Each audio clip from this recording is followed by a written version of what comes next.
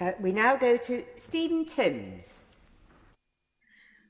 Thank you, Madam Deputy Speaker. Uh, we, we, learned this month of the anger in Chesham and Amersham with government housing policy. My constituents, facing massive bills for waking watch and to repair defects in their leasehold homes, are angry as well. And their anger is well expressed by Liam Halligan in the current issue of The Spectator, once edited by the Prime Minister. Um, Liam Halligan's article explains how the big house builders, Barratt's, Taylor Wimpey, Persimmon, have used their excessive profits from the broken housing market to buy off the Tory party with donations in order successfully to maintain the current rigged system. Those firms have built tens of thousands of shoddy, dangerous homes and now they're passing the costs of fixing the problem onto leaseholders, and the government is refusing to stop them. And then there's help to buy. The Spectator says it is, and I quote, a government subsidy focused on new builds, which has overwhelmingly gone to the big operators, juicing up both house prices and profits further, while making new homes even less affordable for the majority who are unable to access the scheme.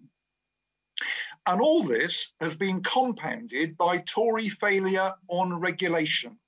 In January 2012, David Cameron made it his New Year's resolution to, quote, in frankly a chilling phrase in hindsight, quote, kill off the health and safety culture for good. Tory housing ministers seeing growing evidence of the need to tighten fire safety regulation, steadfastly refused to do so. It would have upset the house builders, and the upshot was Grenfell Tower.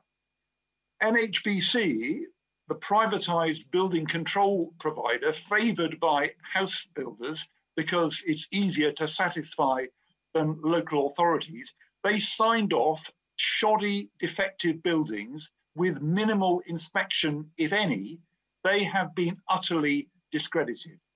Far from killing off the health and safety culture, ministers have had to hand the health and safety executive the embodiment of that culture, fortunately, which the Tories didn't manage to kill off, the crucial new building safety regulator role.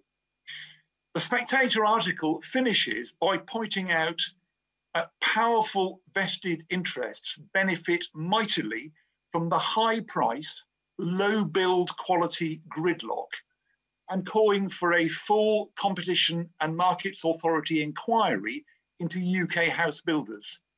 Unlike other members in this debate, I don't want to thank those house builders. Competition is absent from this market. Government must now finally side with leaseholders and would-be homeowners and take on not the building products industry, but the house builders.